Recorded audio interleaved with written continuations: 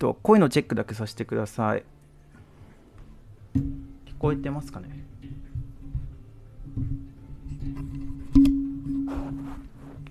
大丈夫ですかね？聞こえてますかね？ありがとうございます。ありがとうございます。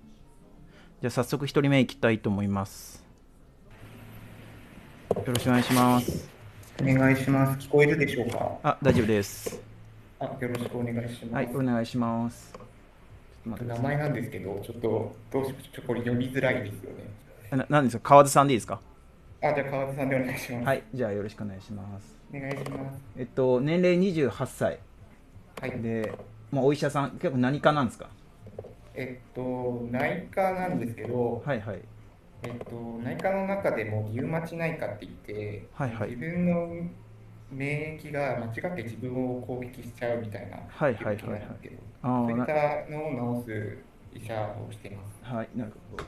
ちなみに投資歴始めて3年っていうことなんですけども、はい始めたきっかけ、やっぱりあーまた米米国株ですね、米国株への投資が流行っていて、その際、古本屋で適当に買った本、はい。これがあ広瀬隆夫さんですか、なるほど、その人が当時、米国株に。ということは、えっと、基本的には今でも米国株がメインなんですか？いや、それが今はちょっと日本株に半分ぐらい投資していて、はいはいはい。えっと、理由としてはさすがにちょっと米国株が高くなりすぎてて、うんうんうんうん。で、それで日本日本株があまりに安いなっていうのは肌で感じていて、うんうんっていうことで今ちょっと日本株への投資をちょっと模索している段階なんですけど、えちなみに今、その資金配分としては、こう米国株と日本株って大体どれぐらいなんですか、今だいたい、えっと、日本株が、えっと、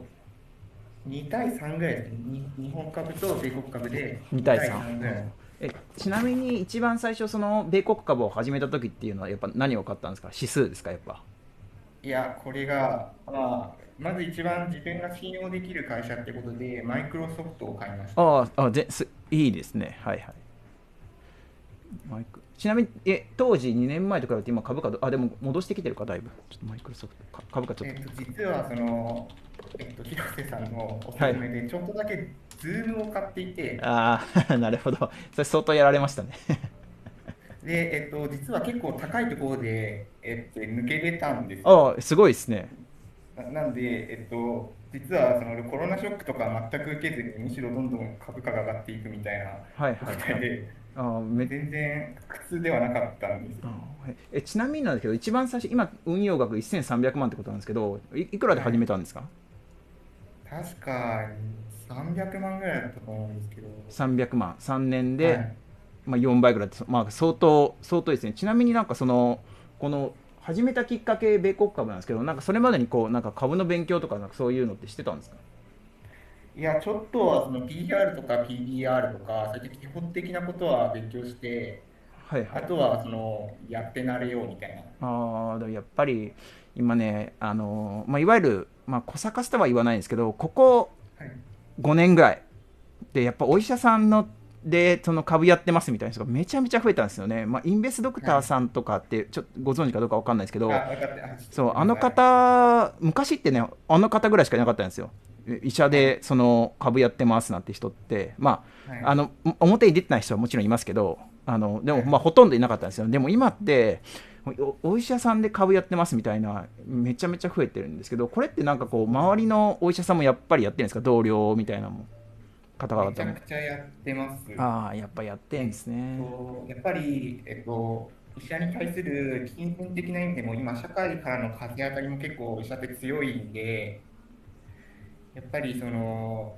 まあ、医者だけでうまくやっていけるっていう時代は終わったなっていう感じが周りからも見て取れます。で僕もそう思ってる。いやーなるほど。あまあ、まあ、たーちゃんもそうなんですけど、まあ、一般的になんか言ってないじゃないですか、インベスドクターさんみたいに自分は医者ですみたいな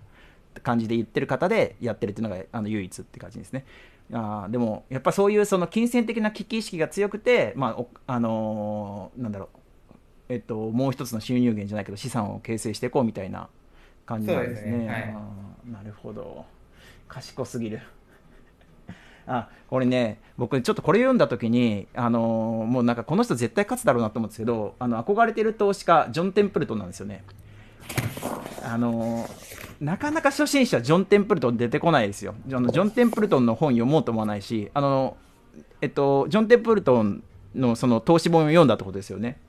あはい読んでます。これってちなみにその最初広瀬隆夫さんなんですけどどどこでジョン・テンプルトンにそのなんだろう行ったんですかね結構渋いですよ、えっと本当に。えっとリフト株で失敗したんですよ自分が。ギフトリフトっていうそのあリフトね Uber あわかりました、はい。リフト。あそれで失敗して、でここでやっぱ自分で考えなきゃダメだなっていうふうに思ったんですよね。はいはで、なんかまあ有名なバフェットとか本読んでて、いや、なんかちゃうなって思って、はいはいはい。で、その時に、えっと、ツイッターかなんかでおすすめされてた本本がなんかたくさん出てきて、はいはい。その人、なんか読んでみようかなって思って、その確か7個目か8個目ぐらいにあったのが、ジョン・テンプルトンのジョンテンプルトン教の遊戯っていう本。わかりますわかります。い超有名な本なんでね、はい、はい、で、それを読んで、いや、これやって思った。なるほどなるほどね。いやもう本当筋めっちゃいいと思いますね。まああのそれちょっと聞いて納得したんですけどジョン・テンプルトンって要はマーケットグローバル、まあ、株にせよ何にせよそのグローバルで見てその安いその国のやつ普通に買ったらいいじゃんみたいなこと言ってますからねはい。あのあのすごい納得しました。ちなみにツイッターではシェンさんっていう方あではい。目立つのが嫌いなのもう一人いるけど、まあ、目立つ方が嫌いと。でシェンさんってああなんかやっぱねこうあの頭いい感がすごいですね。この憧れてる投資家とかで。はい。で目標としては年間400万から600万ぐらい配当などで得られるようにしたいと。ではい。まあそうすると大体1.5億か2億っていう感じなんですけど、これ大体なんかどこまでにとかっていう目標はあるんですか？何歳までにとか。いやまあ特にはないんですけど、まあ、40前後とかその辺で得られたらいいなぐらいの気持ちで、えちなみにお仕事は続けていきたいんですか？その例えばですけど、まあ、1.5億、まあ、場合によってはもしかしたらもっとうまくいっちゃって3億4億5億っていう段階でもうやっぱり自分ってその、し医者っていう仕事を続けると思いますか？えっと医者ってその入院してる人を見るっていう業務とあと外来っていう業務があるんですけど、はいはい外来だけをやっていきたいんですね。あのやっぱりコロナとかでその病棟であんまりいい思い出がないっていうか、もうすごい辛い思いなんです そうですよね、はいはい。そっちはもうやりたくない。ああなるほど、まあ、そういう、まあ、続けるにしてもそのやる仕事を選,、選べるぐらいの,、まあその余裕のある状態になりたいということですね。はい。えそういうことです。ちなみになんですけどその、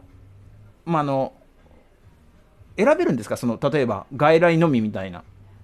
あ全然選べます。あの僕のあの膠原病内科っていうんですけど、はいはい膠原病内科はその人が少ないので、むしろその外来メインになるかなって思いますね。えちなみになんですけどリウマチ内科のお医者さんがその入院患者とかその見る場合ってどういう症状なんですか？それまあいろいろありますけども、大体そのリウマチ系の病気っていうのは肺と腎臓にそのダメージを受けることなるほどなるほどですね。なんでその呼吸器内科、腎臓内科とそのコンタクトを取ってみたいな感じです。ちなみにちょっとまあもし言えたらいいんですけどなんか一番それ、はい。こもうこれさすがにまあその嫌すぎるわみたいな。これを これを続けていくの無理だわって思ったそういうなんか状態ってどういう状態だったんですか？当直です。ああなるほどなるほどなるほどとまあ、野戦病院みたいな、特にコロナの時なんかはそうだったんで、はいはいまあ、2週間病院にいてとか、普通だったんですよね。はい全く家に帰れないみたいなるほどな。で、お給料も増えなかったんで、いやーもうやってらんないですねさすがにそうですね、やってられなくて、いや、無理だわって思いました。いやーえちなみにそれなんかこう今ってまああのうまくやってる人っていうか金だけそれこそ目当てのお医者さんって、まあ、美容系のとか行ったりとかあとは脱毛でもう本当にい。るだけみたいな感じにしたりするけど、そういうのはさすがにそこまではさすがにやりたくない。やそれはさすがに人間として終わってると思うんで、なるほどね。なるほどね。特に脱毛なんか座ってるだけですもんねあんなんね。そうですね、ちょっとあれはちょっと僕のプライドは許さないので、なるほど。すごいすごい。モモラルまで兼ね備えてる感じですね なるほど。なるほどね。まあでもちなみにこれまでのあの失敗の中でリフトの株の IPO であの上場してセカンダリーですぐ買ったってことですか？これリフトって。あそうですそうです。なるほど。でまあバコンって落ちて、はいはい、はい、確か3分の2ぐらいになったと思いますね。あえちなみにリフトってもし覚えたらいいんで教えて IPO の時ってどういうバリエーションで乗ったんですか？えもうすぐです7確か75ドルとかだったかな。でそれで50ドルいかないぐらいで損切ったぐらいだと思います。あいやそのな時価総額とかって覚えてます？時価総額。TSR でどれだったかな。全然すみません全然覚えてないんですけど。あいや全然全然あ覚えてれたら全然いいです。えリフトちょっとちゃんとは言えなくてあ大丈夫です。えっとちょっとリフト見てみます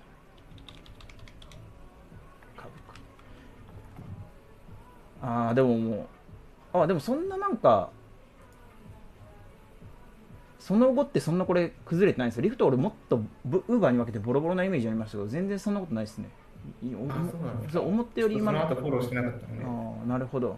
えちなみに今はどういうスタイルなんですか？今はそのイベント統治って書いたんですけど、はいはい、ちょっと多分実例を見ても聞いてもらった方が一番分かりやすいと思うので、うんはい。はいはいえっと、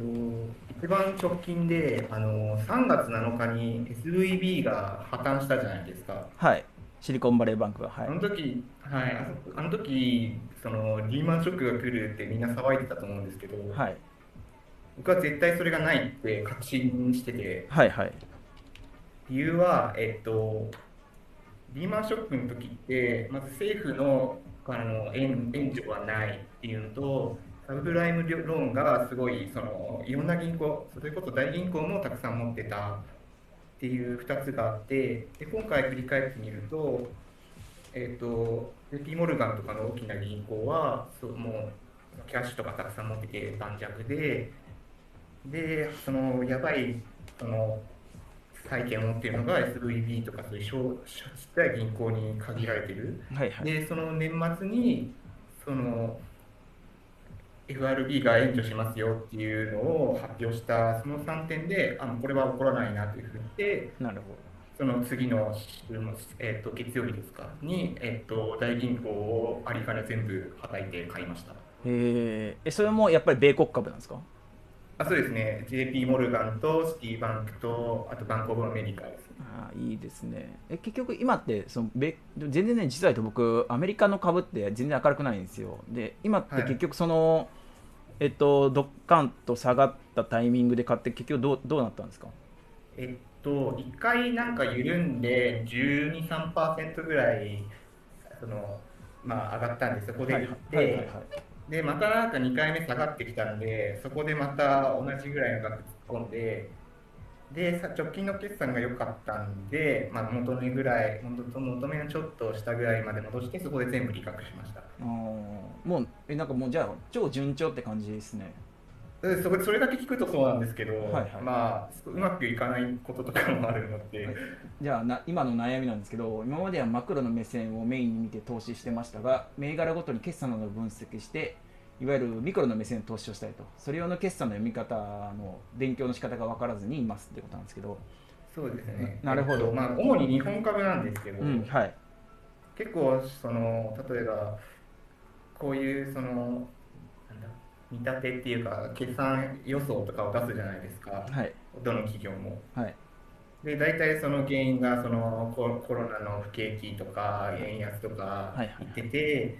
でまあこれぐらいの予想を立ててますと。実際決算見てみたらなんか同じ理由で料理に立て下がってたりしてていやこれどこ見たらいいっていうふうなこと悩んで。なるなるほど。なるほど。はい、あのー、基本的にあの決算単身でそのなんか要因どうのこうの我が国の経済がどうちゃらこうちゃらってあの書いてある部分あるじゃないですか、はい、あれ読む必要ないです。あそうなんですか。読む必要ないです、あそこに関して言えば。あのー、コロナの時はみんなこれあの枕言葉みたいなもんの部分があるんで、なんかその、はい、えっと、その部分は読む必要ないんですけど、決算単身でその読むべき部分っていうのは、カテゴリーとかによって結構違うんですよね。例えばなんですけども、すごい分かりやすく言ったら、不動産とかはその結構そのえっとそうそう背景お元気ですかの文は全然読む必要なくってそのえっと、業種ごとにね、そこどこを読むかっていうのはすごい違うんですよ。例えば不動産投資だったら仕入れの不動産がどうなってるだとか、あとは借り入れがどうなってるだとか、はい、キャッシュがどうなってるだとかっていう部分をよよく見ないとダメだし、えっと、はい、逆にその、例えば SARS とかの、その、サービスでうまくいってるかどうかっていうのは、例えば、えっと、1年契約のやつだったら前置き金っていう項目があるんで、まあ、そこの増減を見てあのちゃんと順調にいってるかとか、とか、まあ、はい、あの丁寧な企業だったらもちろんその受注とか、えっとそのまあ、例えば半導体で言えば受注が好調だとかなんとかっていうのも書いてあるし、まあ、場合によっては説明資料でも書いてあるしなちょっとねこのどうやって読めばいいかっていうのをこうバンというのはね難しいんですよ。難しいというか不可能なんですよね。業種ごとによって見るべきポイントっていうのはそれぞれ異なるんですよ。業もうなんなら会社ごとに異なるんですよ。あの重要なのって決算端子のポイントじゃなくてヒストリカルな変化なんですよね。ヒストリカルな。ストーリーとかの方が大事ってこと？そのストーリーに沿った数字がどうなってるかっていうのが非常に大事なんですよ、うんそのあるストーリーでそのこれまで株価が評価されて唐突にドンと変化したらその変化に対してその株価っていうのは当然反応するんででそこでその変化がどういうふうになっていくかっていうのをまあ想像する。そういう見方を決算その決算端子にする必要があるんでポイントポイントで見ても当然分かんないと思います。なんでもうあの理想を言えばですけど僕ですらできないですけどもしもそのそう理想そう私なりの KPI っていうのがそれぞれの企業にあるんでそこを見極める必要があるんですよね。で、はい、まあ、あの例えば昨日でも言いましたけど例えばですけどスマホゲームを作ってる会社だったらそれこそあのランキングとか外部サイトのランキングとかあるんでそこから売り上げ推測できるし、まあ、そういうのなんですよね。あのもちもちろん月次があるとか月次もあるし、えっと、いろんなそのパターンがあるんですよ。でちょっと言いかけましたけど、えっと、結局ヒストリカルが重要なんでもしもその会社の、えっと、本当に決算単身見て評価したいっていう場合は、まあ、過去5年分とか、まあ、あの5年はちょっと大げさにしても3年分ぐらい見てどういう変化をしていってその変化がどうかっていうのをちょっと見た方がすごい分かりやすいと思います。で決算単身をね結構自分にインプットしないとあの分かんないと見慣れてくると前の会社はこんな感じだったなとかっていうのが分かってすぐにまあそういいか悪いかっていうのが分かるようになるんですけどなんせインプットがないと、まあ、その見てもよく分かんないじゃないですか。本当にそのさっき言ったように、はい、この例えば売り上げが増えて、えっと、利益が減ってるのに上がった場合とか例えばなんか全然ダメだったのになんか上がっちゃった場合とかってももちろんそういうのがあるんだけどちゃんとそこには一応、まあ、マーケットバカなんでもちろん間違ってる場合初動の間違いっていうのは結構あるんですけども、まあ、それでもまあやっぱりその見えてくるものがあるんですよね。はい、でなんでミクロの視点でやろうと思ったら、えっと、決算端子もしくは場合によっては、えっと、年間報告書とか、まあ、そういうレベルまで読んであの例えば決算端子には載ってないけどその、えっと、年間報告書とかそ、えっと、なんだっけもう一個のやつあの年間の、えっと、UFO とか。あそうそう UFO UFO とかに載ってる情報とかもあるんですよ。で結構ね UFO 読んでる投資家少ないんで UFO とか読むと、はい、まあ、よりその理解が深まると思います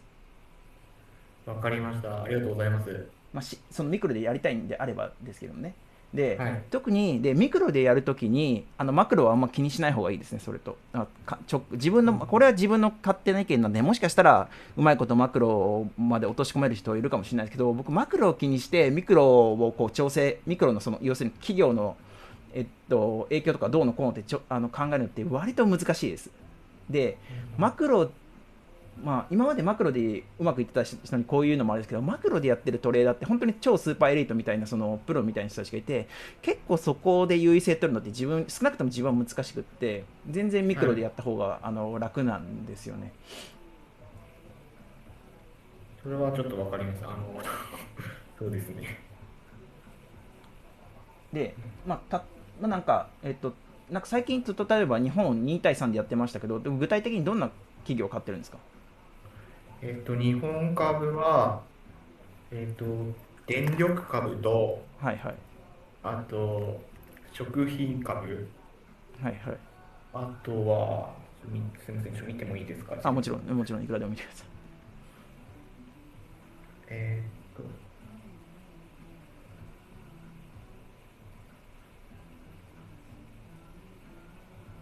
あとは、あと、政党とかですね。政党砂糖。あ、砂糖。ああ、なるほど、なるほど。はい、そういうなんか円安に触れてた時に、うん、また戻すやろって思って買うっていうパターンですね。これこれもマクロ的な見方ではあるんですけど。あでもピック自体は個別にやってるんですか？政党って一言言ってもね3つとかよ3社政党だけに言っても 3, 3社4社ぐらいありますもんね政党っってもねと、電力株は九州電力と北海道電力にしてて、えっと、まあ、で、政党は、その、政党株の中でも、その、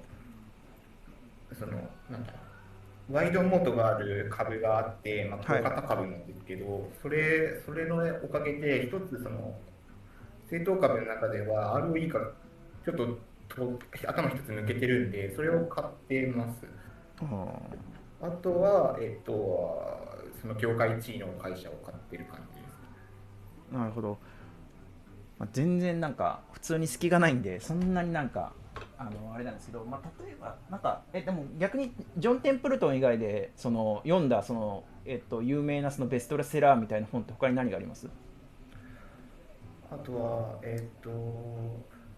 ピーター・リンチかなんかの、その、自分の周りをのかにもたくさん投資が、の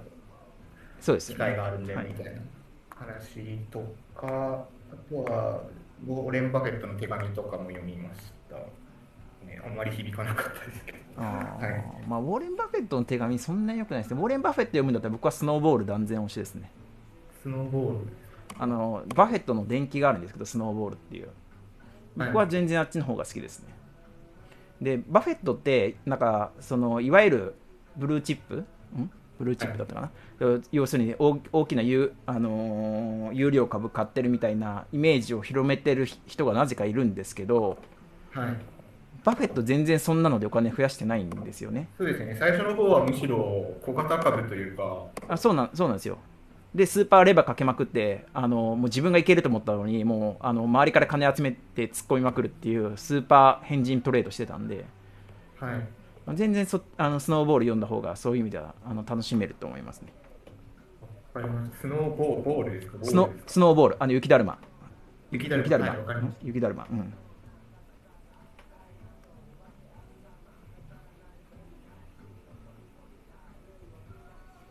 た読んでみます。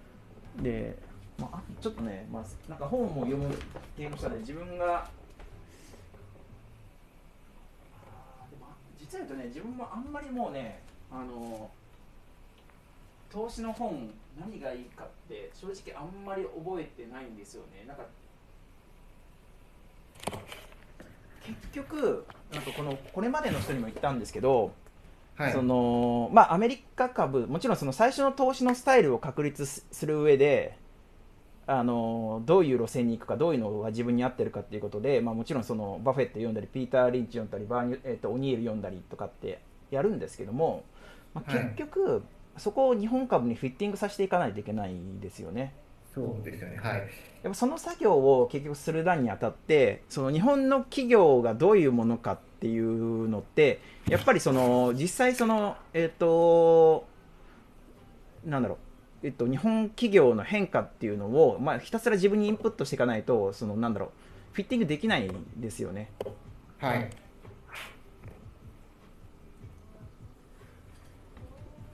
なんかそういう意味ではもうその結構もう聞いてるとあんまりなんか間違った方向にも行ってないし普通にめっちゃ頭いいんでなんかもうあとインプット量が足りないだけかなっていう感じはし正直しますねありがとうございます。じゃあ、ちょっとインプットを増やしてみます。えちなみになんですけど僕はあのこれは必必ずしもおしおすすめしてるわけじゃないですけどあのー信用力があってえっとキャッシュフローが安定してるじゃないですかお医者さんまあ、そうですね。はい。あのもうフルレバがいいと思います。あのフルレバフルレバ言い過ぎですけども、あの借り入れした方がいいと思います。あのまマジであの借借り入れした方がいいと思いますね。借り入れ要するにレバーかけても全然いいと思う。お客あのお医者さんに関してはだってあのややめるあのどれぐらいやめたいですか？その今の今の状況からどれぐらい出したいですか？あ、もう絶対脱出しようと思ってまあーじゃああのレバーかけていいと思いますね。あのよくレバー危危ないって言いますけど、その、はい。なんだろう。うんちょっと、まあ、この株をちょっと言うのはなんか変な株を買ってそれに対してフルレバっておかしい。なんかもう明らかにそのなんだろう期待値マイナスの、えっと、株を買ってフルレバっておかしいですけどでも例えばですけどそうそうなんですよね。あの投資対象にしてるのって結構硬いんでなんかそこで別にレバーかけても全然いいかなと思うしあの、極端な話僕がこれもったいないなと思ったのは28歳で、まあ、えもう、えっと、24歳からお医者さんなんで4年目ですか？そうですね、4年目です。えちなみになんか奨学金とか返したりしてます？ああ、そういう系です。あー僕ね、あのーちょっともちろんその生活のスタイルとかっていうのもあるんで分かんないんですけどももっといけたなっていう感じがするんですよ。今運用学あの3年で1300万ってすごいですけど、はい。まあ、もっといけたなっていう感じがするんですよ。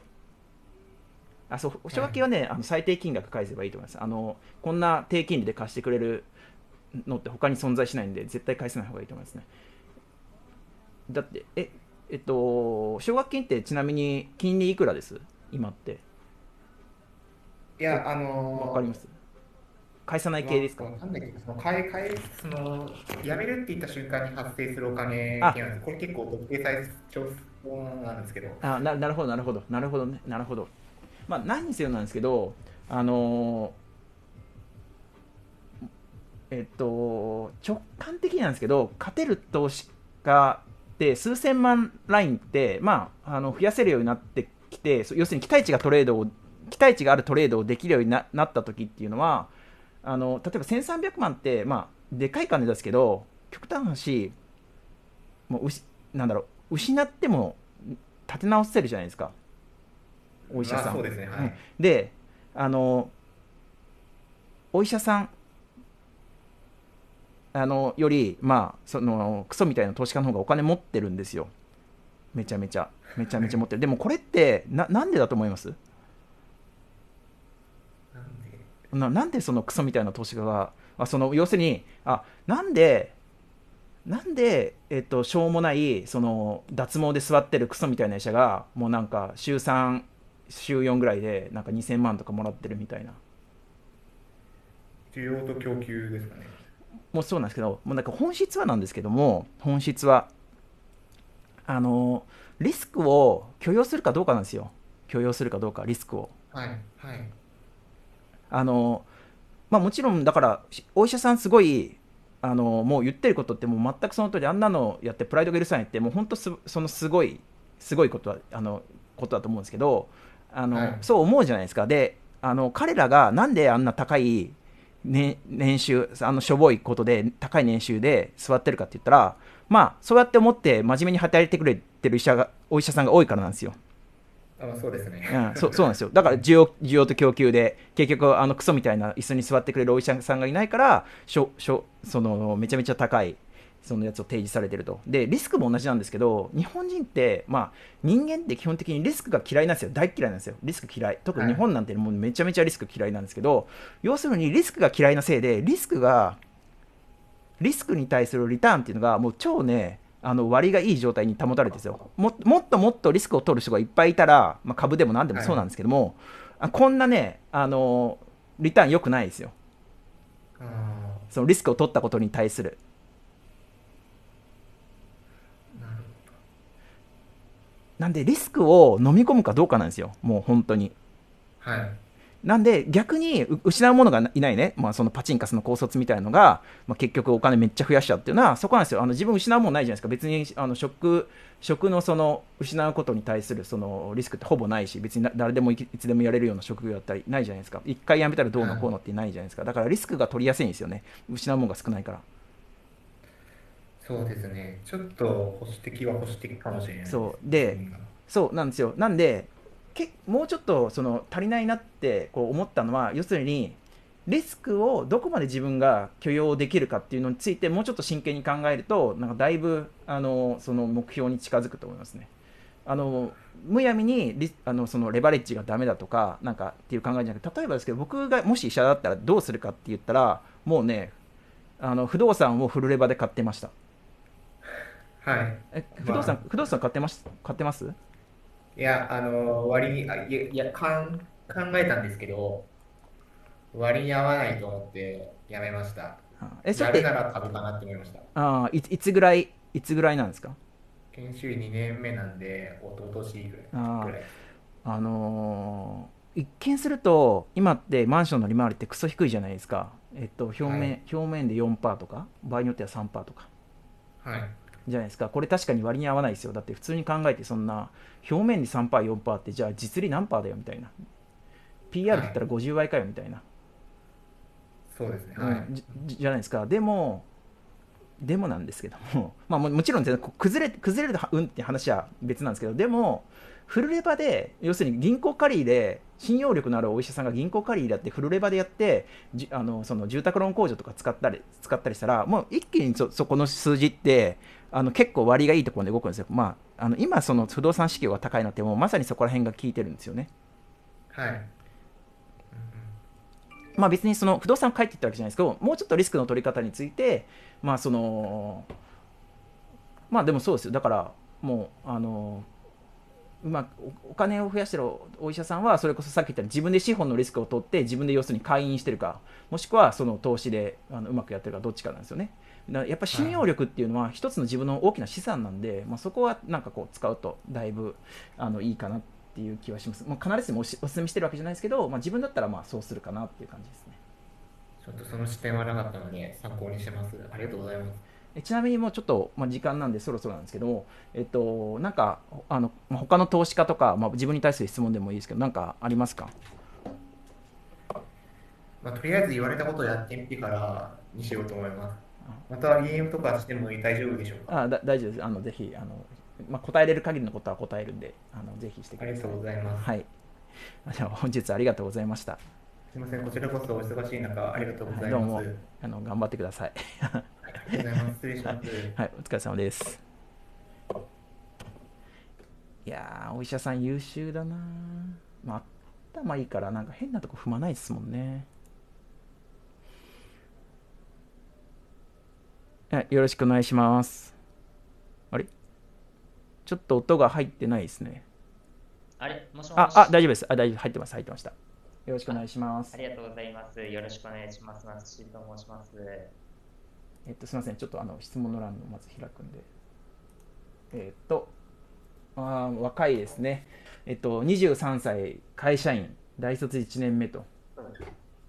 で投資歴が3年で、え投資を始めたきっかけが、もともと大学の学部は経済や金融系で興味があったと。で、日本一周旅行をしようと思って2年くらいをお金を食べたけど、神経の病気になって辞めたから、お金だけが残る残ったから、まあ、暇で株を始めたと。えちなみにこの頼むその一世界一周？世界一周をあするあ日本日本かごめんなさい。日本一周をするために貯めたお金っていくらだったんですか、大体120万くらいです。えそれ大学在籍中に貯めたんですか？あ、ゼロからっていうわけじゃなくて、もともとその高校までのお年玉とかがあったので、70万くらい。はいはい。貯めたのは多分50万くらいです。あー。なるほどえちなみに3年ってことは20歳の時に大学えっと始めたんですけど、まあ、きっかけそのもともと興味があったんですけどそそれでもなんかこう20歳になって始めようと思ったのはななんでなんですか？そうですね、なんとなく、本当になんとなくだったんですけれど、経済とか企業とかビジネスにすごく興味があったので、はいはい、とりあえず社会勉強も含めてやってみようっていう感じでしたね、最初は。うん。えちなみに大学でその株の存在みたいなのを教えてくれたのか？それともなんかもともとそれの前から知ってた？あその前から知ってて、何か誰かに教えてもらったことかでは全くない。うん。えそれじゃあ、えっと両親がやってましたとかなんかインベスター Z あちょっとなんか声小さい遠いらしいんでなんかもうちょっと近づけてもらっていいですかね？あ、わかりました。これで大丈夫でしょうか？はいありがとうございます。なるほど。えっとちなみにえっと今年から今年の4月からあの会社員っていう感じですかねあ、もしもしあ今年の4月から会社員あ、そうですね。もともとその就活ができなかったんですよ。あその病気でってことですね内定ができあ、そうですね。病気でできなかったんで、内定がないまま卒業してしまって、それであのたまたまアルバイト募集している会社があって、はい。1年フリーターやってるって形で。す。えちなみにその、その会社からはいはい。社員にしていただいたっていう。か、うん。えちなみにどんなな何系の会社なんですか？それは結構あのレアな職種なので、あのわかりました。バレてしまうんで、あわかりました。いっぱいとか言えない。あ大大丈夫です大丈夫です。はい。で今今の運用金額が300万400万ってことは結構増えてますねあそうですね、ただこれはちょっと入金と、あと組益ベースっていうところもあります。うんなるほど。で投資のスタイルが今度あの今回初めてですね。長期でいい銘柄をひたすらホールド。少しずつ入金して買いましと。またレバーをかけて、えー、と爆損したりなどっていうことなんですけどなんかこう長期ななんで長期？あなんかやっぱハウリングしてる？え自分の声大丈夫ですか？えっとマスチルさんのあ声。えマチさん今どういう状態であの放送を話してます？あイヤホンしながら、普通にスマホで、あーなんかそのイヤホンが悪いのかな？なんかちょっと遠いっていう方がちょいちょいいるんですよね。まあ、まあすみません、あの聞こえる、そうなんですよね。まあ、賢い人はほっといてもた楽しい道にたどり着きますんで、あ、ごめんなさい。ちょっと端折っちゃ、と、話し折っちゃって申し訳ないんですけど、長期でいい銘柄っていうのは、だからどういうふうに見つけてるんですか？そうですはいはい。あのストック型とかプラットフォーム型で、こう売上が3年以上伸びた、あの右か右肩上がりに伸びていって、銘柄をひたすらピックアップしていくっていう。うん、なんかちょっと自分の声が逆に多すぎて、ちょっと自分話すんで、あのみな皆さんあの全体の音量を上げてもらって、あのでまあ、可能なら、まあ、マッシュルさん、もうちょっとあの近づけてもらえるとって感じですけど、これ大丈夫ですかね、あのあ声の大きさを合わせないとなんか、あじゃあちょっとうるさくしあの切りますね。なるほど。で、えっと、えーちなみにこのレバーをかけて爆損したりっていうのは何で爆損したんですか、具体的に。えっと、あの最近だと東芝です。ああ、東芝。え、東芝、どのタイミングで買いました、えっと、確か、一回、あの、TOB が確定したみたいなんで、5500円くらいになった後にめちゃめちゃ下がって、4800円くらいになったところで、あの、信用全力くらい行きました。ああ、じゃあ、はい結構食らってますね。結構くらいました。4800円で買って、4400円で切りました。あー今もう切っちゃったんですね。もう切あ、って、もう切りました。もうあの東芝にはうんざりだと。もう絶対に東芝の家電は買いません。ちなみに僕もまだ、僕もまだ東芝持ってます。あの祈ってます、ひたすらあ。、本当ですか？祈ってます。持ってます。あれ、いくらだったっけ？あれ、今 TOB 価格いくらだっけ ?4600 何円とかだったよね。確かね。一応、今の。そうですね。ただなんか、あの時価総額ベースだと4400円あたりだったと思う。あなるほど。はい、なるほどですね。で、まあ一番そ損したのがじゃあ東芝ってことなんですね。そうですね、東芝ですね。うんえでもその割にはちょっとこれちょっとこれ今あのん何って感じなんですけど憧れてる投資家リバモアと STF さんってことなんですけどはい。その長期でいい銘柄をひたすらホールドする割にはリバモアとか STF さんみたいなちょっとこうリスク許容度がもうバグって無限になってる人みたいなちなみにリバモア最後あの負けて死にますからねあ、そうですね。それがめちゃめちゃかっこいいなと思ってて、あなるほど。かっこいいね。あの、僕はできないんですよ。あなるほどなるほど。あこの、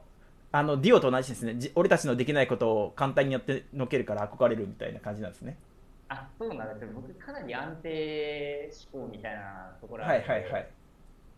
なんかこう、振り切れないところというか、コンプレックスなんですね、そういうところが、真面目なところが。ああでもそれねすごいわかりますめっちゃわかりますね。自分もどっちかってそうなんですよ。あのどうしても性格的にできない。あちなみに長期っていうのはあの具体的にその、えっと、プラットフォーム型とか SARS 型って言ってましたけど日本のその進行なんですか？それともなんか米国株とか？あ、思いっきりも日本株で、あの、アサースではなくて、あの、銘柄言っても大丈夫ですか、あ大丈夫です大丈夫ですあの IPS っていうフィリピンで通通信事業やってるはい会はい社を、まあ、8割くらい持ってるっていう感じ。8割 IPS を IPS8 割で、今、あの、信用2階建てになってます、ちなみに。もう結構結構狂ってますね あの、それを目指してるんですよ。あのあ STF さんみたいな感じで。ああなるほどなるほどなるほどちょっとねあの STF さんも結構罪なんですよね。STF さんに憧れる人はまあね申し訳ないですけどみんな死んでます、あ。あ、感じですね、それは。あのこれなんでかっていうとなんですけどもはい。STF さんってあのえ放送僕との対談の放送って聞きました？あ、聞いてないですね。あぜひあのあと聞いてみてほしいんですけど STF さんあの全部そのはい。やり方言ってるんで、あのぜひ聞いてみてほしいんですけどもうね秒で切るんですよ。下がったら秒で切ります。そううん。そう上がっあの上がってない株嫌いなんでもう10億20億30億っていう株を下がったらもうぶん投げるんですよ。だからもう STF さんの名前がついた板が出てあこれこれこれ STF さんだわみたいなのが分かるぐらい分厚い球をもうバンバカバンバカ投げてくるんですよね。下がってる時って。そうなんですか。そうなんです。そうなんです。あのぜひあとあの後でちょっと聞いてみてください、あの放送を。バンバカバンバカ投げてくるんですよね。なんで、その、フルレバ、まあ、確かにレバレッジかけるんですけど、かけるんですけど、リスク管理はめっちゃうまいんですよ。なるほど、なるほど。なんで、ちょっとね、その長期投資でフルレバでやってますってなった時に、切れるならいいですけど、でももしなんかこれね、僕、まあ、あの、まあ、IPS の株についてはちょっと僕はあんまりいいこと言えないんで、ちょっと言わないですけども、もしも何かあった時に、その切れないとダメなんですよね。で、長期で持ってるからっていう風にフルレバでなっちゃうと、まあ、切れないと思うんですよ。なんで、ちょっときついかなって気はしますね。本当におっしゃる通りで、多分何か、はいはい切れないですね、僕は。ああ、やっぱそう。そうなるとちょっとね、きついかなっていう気はしますね。で、そう、ST さんは、しかもそのフルレバーはかけますけど、銘柄で分散して、それでベータ落とすんですよ。あのリスクを落とすんですよ。あのぶ分散してリスクを落とすんですね。なんで、1銘柄で結構、そのよっぽど、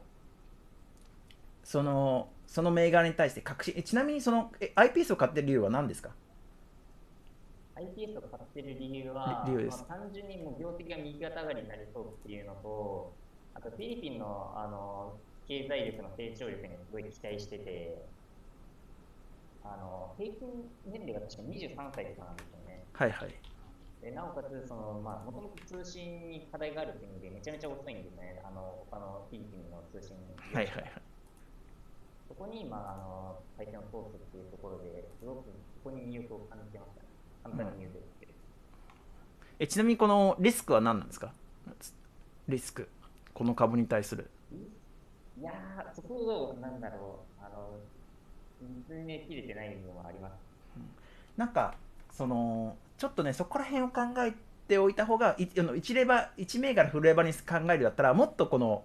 あの病的に調べた方がもうちょっといいと思いますね。なんかそのリスクとか多分 U- UFO とかって読ん多分ねあのもうごちゃごちゃごちゃごちゃ書いてあるんで、まあ、ぜひその、まあ、読んでみてほしいかなって思いますね。でちなみに年内1000万っていうことなんですけど今年ですよね今年23年のうちに1000万、はいはいってことはこの IPS が今レバー2倍ぐらいで買ってる？そうですね。8 2割倍までいってないですね。1.5倍ぐらいですかね1.5くらい。はい。だから500万とか600万ぐらい買ってるってことですもんねってことはこれ倍倍になる想定なんですもんね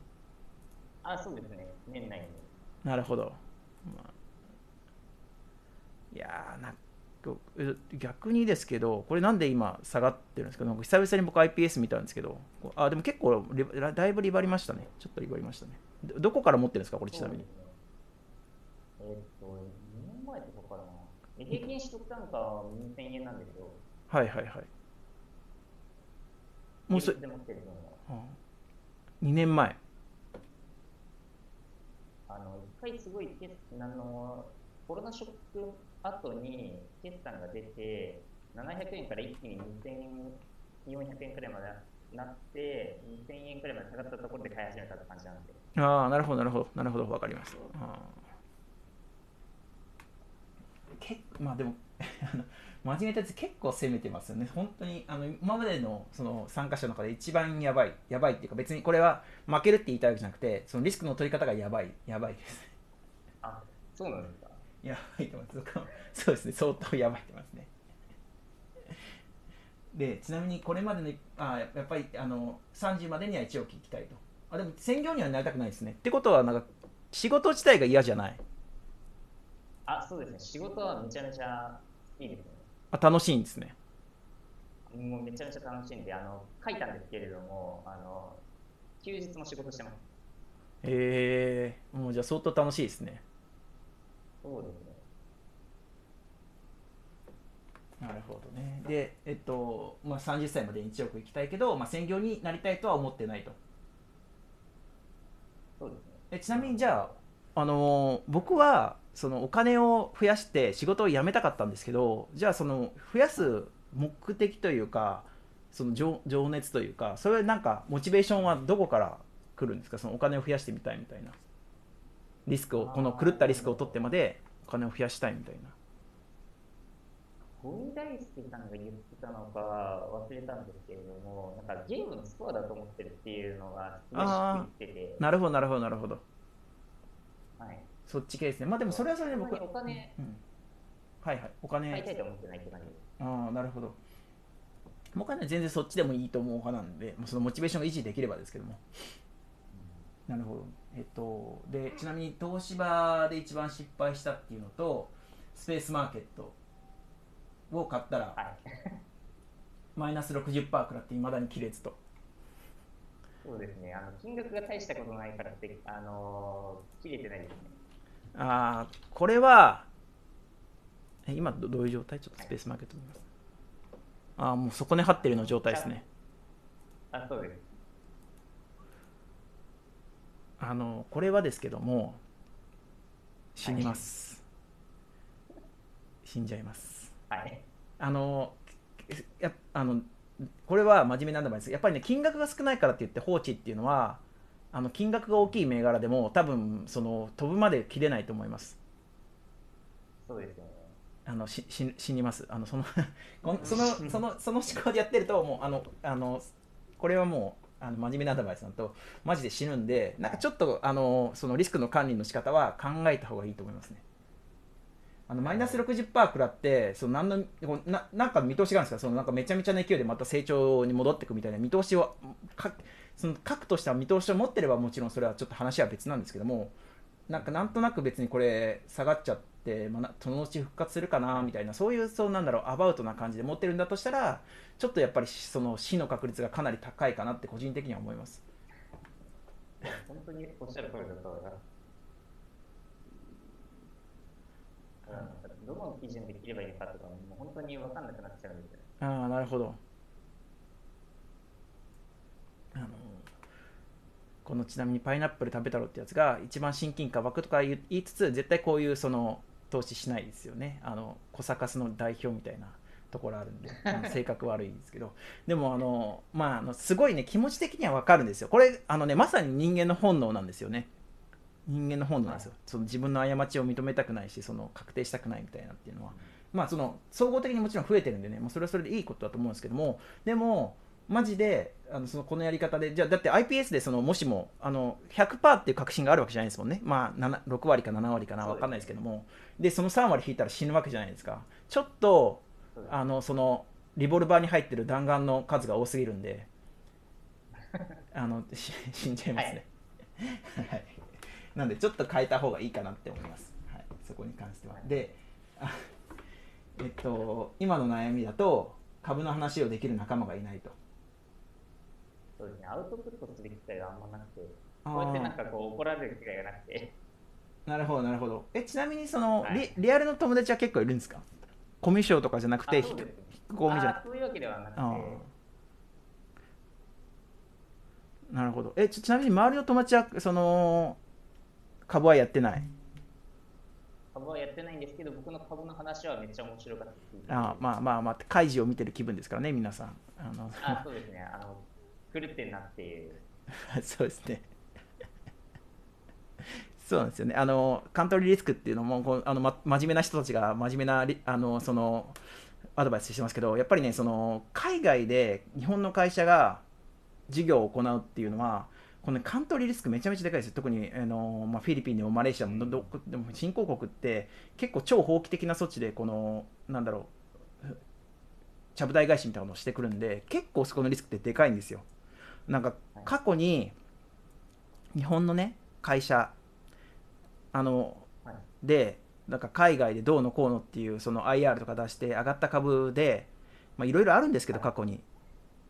でもまあ少なくとも自分が知る限りですよ。まあこの、まあ、統計取ってないんで分かるんですけど8割9割死んでますね。あのその事業がその事業会社がじゃなくてそそうかその事業ほぼ死んでます死んでます。そんな簡単なことじゃないですよ。その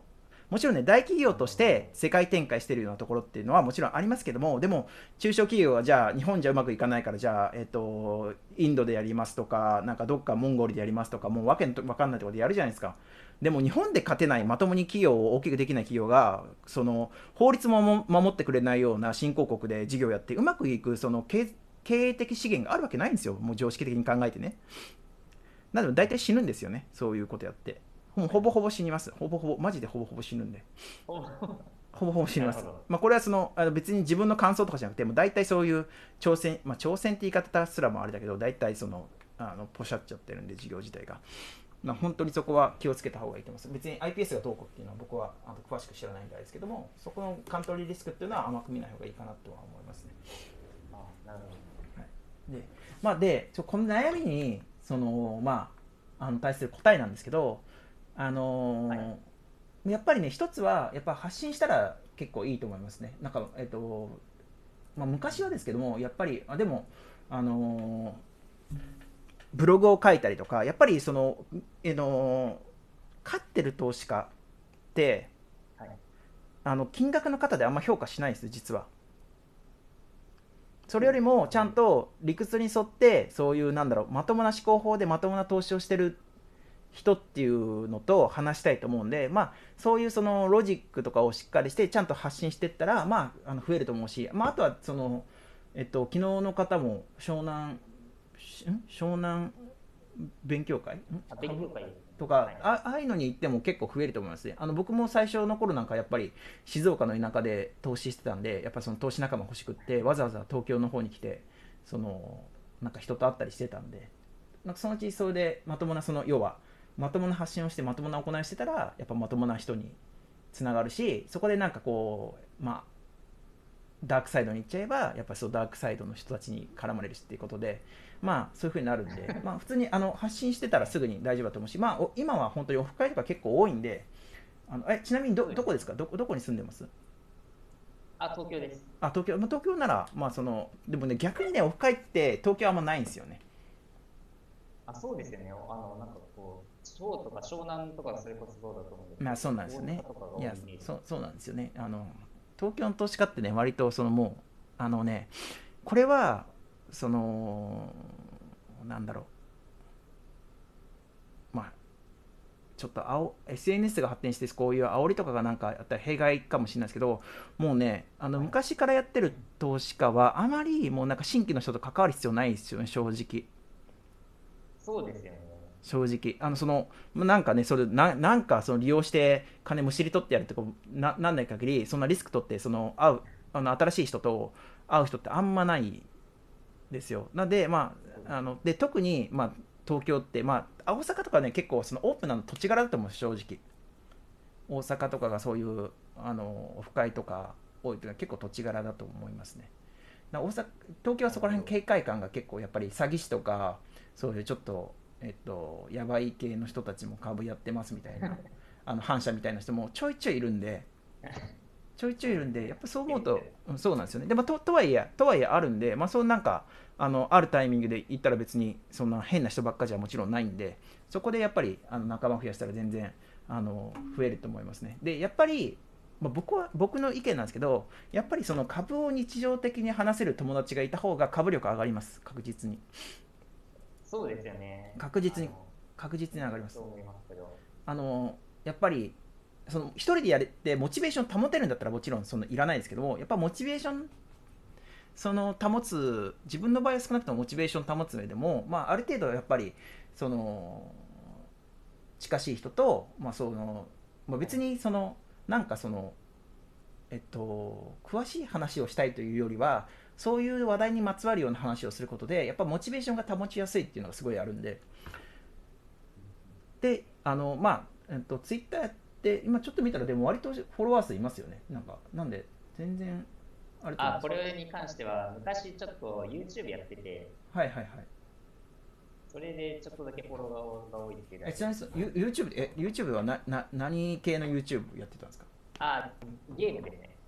ああな何のゲームですか？ポケモンです。ポケモン。じゃあポケモンポケモンママスターだった時のあの視聴者みたいな人が結構フォローしたままってあそうですね。そういうことです。なので株系では一切ない。ですあなるほどね。まあでもその調子まあでもポケモンとかでも同じですよ。ポケカとかでもあんなあのただ開けてるだけでも別に見てくれる人は見てくれるんでなんかはい。そういうちょっとした発信でもいいからしてったら、まあ、あの全然増えると思いますねわかりました。ちょっととりあえずツイッターとかでの発信は増やしていきたいと思いしまあそうですね。あとはまあだからオフ会行っても本当にいいと思いますね。なるほど。ちょっと怖いんですよね、お二人は。あーえそれはななんでですか？なんか直で、あの、多分年齢層が高いってイメージだったんで、ああなるほど年齢層が高いその要するに、えっと、なんかやばい人がいるとかっていうよりはちょっとこうえっとまあ偏屈なおっさんたちがいっぱいいてちょっと這いずりづらそうだなみたいな。あ、それはちょっとあります。あーやっぱこれ小サカスのせいですね完全に。完全に小サカスのせいなんでちょっとあの僕が僕からこの、えっと、小サカスの連中に猛省をあの促しておくんであの多分ねあのねこれちょっとこれネタなんですけど割と言ったらはい。若い人は、あのチヤホヤされます。これは別に女とかじゃなくて普通あにそうおっさんたちって何気に若い子、まあ、もう上から目線で語るの好きなんでもうこのしょうもない連中は。あの普通にあの全然あのフフレンドリーって言い方もう本当にあのなんだろう。もうフレンドリーフレンドリーに別に受け入れてあこれあのあのネタで言ってるとかじゃなくて普通に本当にあの喜んでもらえると思いますね。若い子が来ると。あなんか最近株始めたのみたいなみたいな感じだと思いますね割と。でまあもしもあれだったらやっぱり、うん、そう。やっぱり小さいのよりも大きいの行った方がいいと思いますよ。なるほど。大きいの。なんかそそれこそ本当にあのーえっと旅行ついでに、まあ、別に大阪とかでもいいと思うし、まあ、さっき言ったように東京はやっぱちょっと少ない。本当に今今だいぶ若いって若い子増えてます。ね。直感的にですけども。あ、そうなんです増えて増えてます、まあもちろんねあの年齢層高い人はいいるけどもまあ自分のね感覚だとはい。えっとねまあ行くとこにもよると思いますけど、まあ、やっぱ30代メインではあるんだけどもそんなねなんかこう405060、まあ、場合場合によったらじいさんみたいなのはそれほど多くないですねやっぱりなるほど。30代やっぱ30代40代がメインではあると思うけども。でもとにかくそのその人たち別にそんななんか閉鎖的な感じじゃないんでぜひあの行ってみればあの大丈夫だと思います。あ、わかりました。いろいろ自分でも調べてみたいと思います。で、えっと、もう一つがメインで持ってる IPS の株価が横ばいで跳ねないと。資産が伸びないためこれでいいのか少し不安。自信がないと。切るべきです。そうですね、これよ、いてる。いやだって。レバーをかけてる銘柄に対して自信がないとか不安とかってもう秒で切るべきなんであの切りましょう。あのわい。やいやこれは僕はだ誰に何を言われたところで僕はこれあの自分でちゃんと調べてもうなんだろうもう全然そのなんだろう不安とかもないし自信しかないっていうんだったらまあそうですか、まあ、あのすごいですねってなるんですけどこれ持ってて不安それ以下少しで不安とか自信がない銘柄をレバーかけて持つべきじゃないんでこれこれはロロジカルな話なんですけどもあの持つべきじゃないじゃないですか。不安がある銘柄をレバーかけて。もうもちろんそれ例えば10分の1とかだったら僕もそのとやかく言わないですけどもやっぱその銘柄一つにかけてる銘柄っていうのは本当にその上がるあの昨日も昨日放送って聞いてました？あ、聞いてました。あの株式市場ってもう目を皿にしてもう本当にもういなんだろう神にい神に対してそのなんだろうあの祈るような気持ちで向き合ってるともう絶対に上がる銘柄っていう状態が出てくるんですよ。もう絶対これはそう例えばですけど僕からしたらもう前回の楽天とかもあのー IP をもらえたらもう価値格みたいなもういくらでももらえるんだったらいくらでももらいたいみたいなそういう案件だったんですよねでもそれってはいそんななんか10年に一度とかの話じゃなくて1年に直感的に考えてもう本当にちゃんと見てたら1年にまあ5回とは言わないけど23回は